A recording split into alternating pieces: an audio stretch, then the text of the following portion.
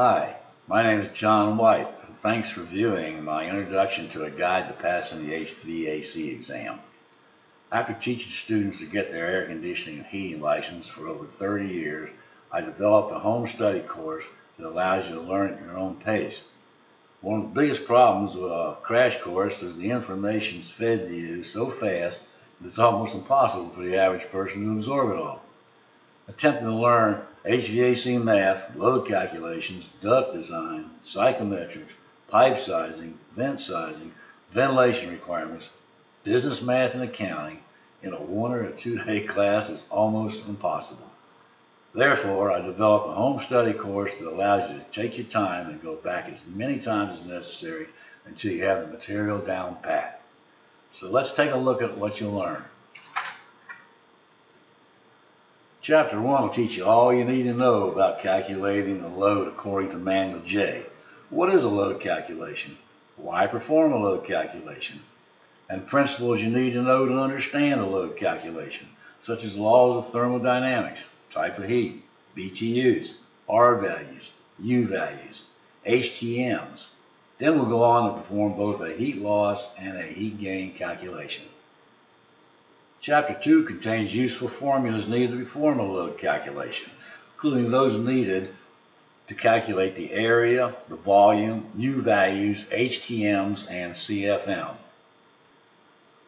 Chapter 3 goes into Manual N, which is commercial load calculations.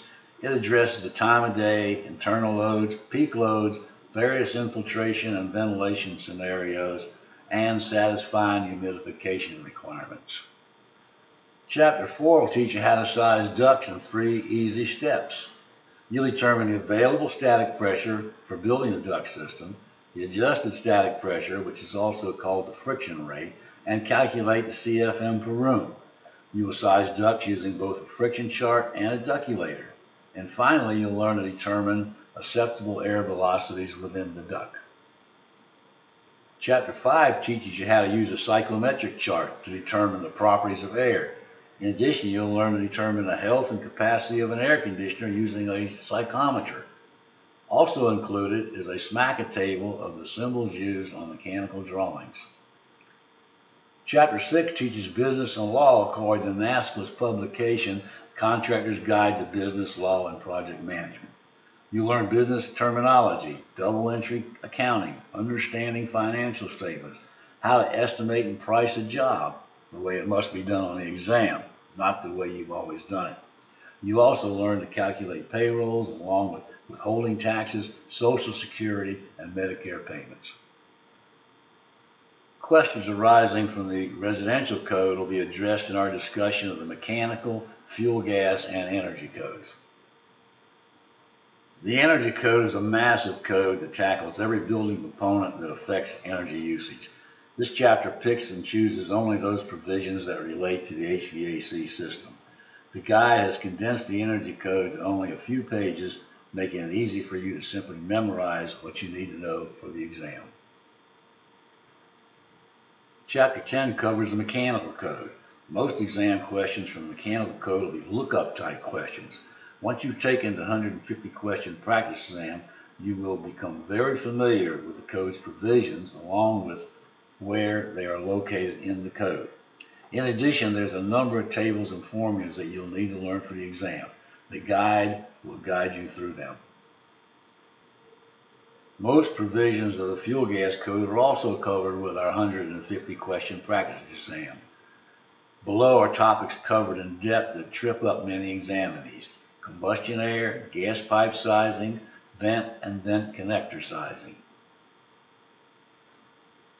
Appendix A contains questions covering what you have learned so far. Finally, you will take a 150 question practice exam that covers the entire gamut. The questions have been strategically selected to help you learn the provisions of the code and where to find the answers. In addition, you'll be required to answer load calculation, duct sizing, and business questions. All questions have the answers and how or where they can be found. Thanks for viewing my presentation. My course is available as an instant download as a spiral bound hard copy. If you opt for the download, I recommend you print it out. It's about 100 pages. If you opt for the hard copy, the delivery time is three to five business days. To learn more or to order this course, please go to www.hvaclicensing.com. Thank you.